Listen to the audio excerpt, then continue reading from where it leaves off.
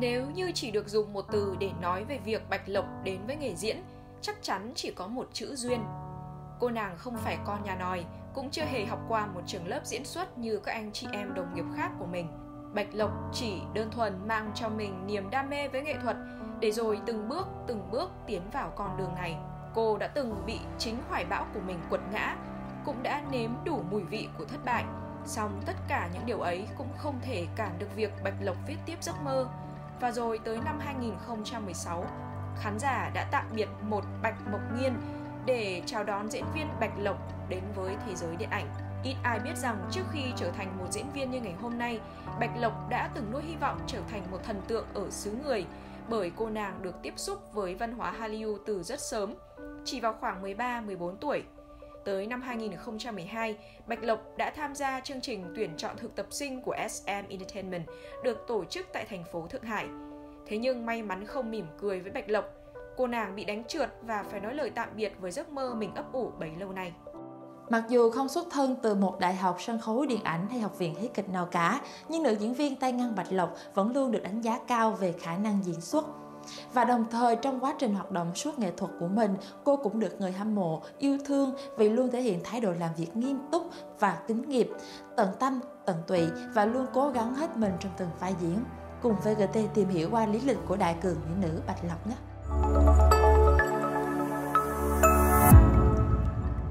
Tiểu sử Bạch Lộc Bạch Lộc tên thật là Bạch Mộng Nghiên, quê ở thành phố Thường Châu, tỉnh Giang Tô, Trung Quốc, sinh ngày 23 tháng 9 năm 1994 trong một gia đình bình thường. Bạch Lộc cũng là một trong số ít những nữ diễn viên không tốt nghiệp đại học của Cebis. Vận khí của Bạch Lộc bị khán giả chê là không tốt, khi đã được công ty Lăng Xê tích cực như vậy mà vẫn có cảm giác cô nàng chưa thực sự tồn tại ở trong ngành. Nhắc đến Vu Chính thì Ngô Cẩn Ngôn hay Quan Hiểu Đồng vẫn được fan nhớ đến nhiều hơn.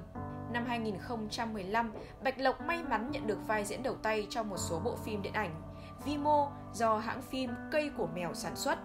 Sau đó thì nhận được bộ phim truyền hình đầu tay là Bức thư tình bé nhỏ. Tháng 7 năm 2016, Bạch Lộc tiếp tục trở thành nữ chính trong MV ca nhạc Lưu Ngôn của Lục Hổ.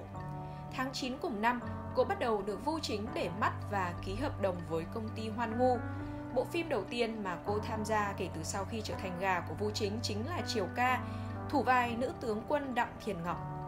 Năm 2017, Bạch Lộc tiếp tục tham gia vào phim truyền hình cổ trang Phượng Tù Hoàng, vai nữ tướng quân Hoắc Tuyền. Sau đó cô tiếp tục tham gia vào Tây Du Ký Nữ Nhi Quốc với vai đại sư chóc yêu vô song.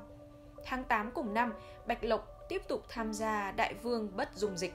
Sau khi trải qua thời gian đóng vai phụ, Bạch Lộc bắt đầu được vu chính lăng xê qua hàng loạt vai nữ chính trong các phim như Thế giới nợ tôi một mối tình đầu, Chiêu Diêu, Trường quân đội liệt hỏa, Cửu lưu bá chủ, Nửa là đường mật nửa là đau thương, Ngọc Lâu Xuân, Một đời một kiếp, là một hủ nữ chính hiệu.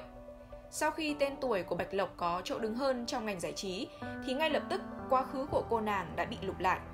Người hâm mộ đã phát hiện ra Bạch Lộc chính là fan bự của EXO, thậm chí cô nàng còn là một hủ nữ chính hiệu khi vô cùng nhiệt tình tác hợp cặp đôi Lộc Hàm, Ngô Diệc Phàm, cựu thành viên nhóm EXO.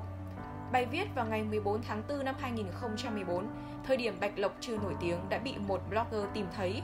Đó là ảnh chụp màn hình của một fanfic, tiểu thuyết do fan hâm mộ tự viết về Lộc Hàm và Ngô Diệc Phàm. Điều này khiến cho người hâm mộ Bạch Lộc vô cùng thích thú.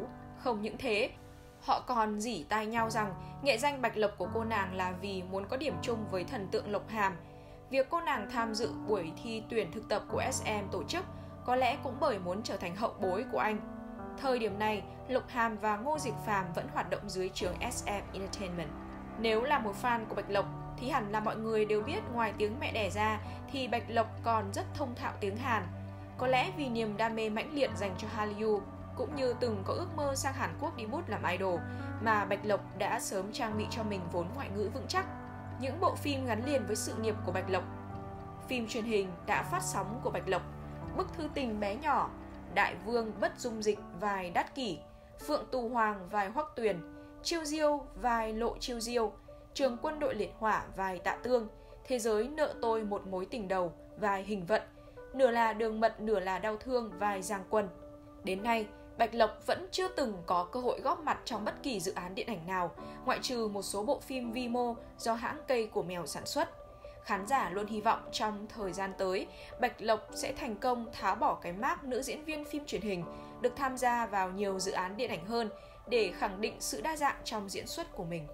Cho tới thời điểm này, Bạch Lộc chỉ dính tin đồn hẹn hò với hai người là Hứa Khải và La Văn Hy. Cặp đôi Bạch Lộc và Hứa Khải được khán giả nhiều lần đồn đoán là phim giả tình thật và hai người này cũng rất là nặng duyên khi không dưới một lần cùng kết đôi trên màn ảnh từ chiêu diêu cho đến trường quân sự liệt hỏa.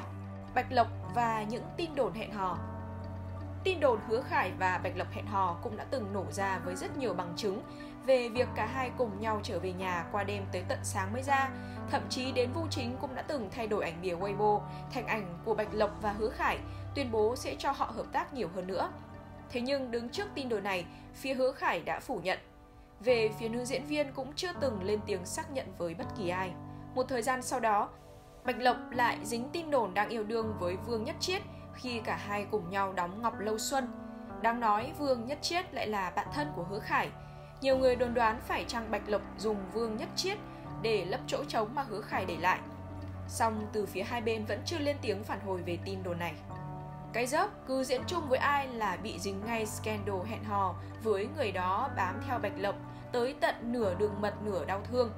Trước khi bộ phim lên sóng, rất nhiều khán giả đã lên tiếng đòi tẩy chay phim bởi tin đồn hẹn hò của Bạch Lộc và La Vân Hy, thậm chí còn chỉ trích cô nàng không ít khi liên tiếp dính scandal hẹn hò với bạn diễn hết người này qua người khác.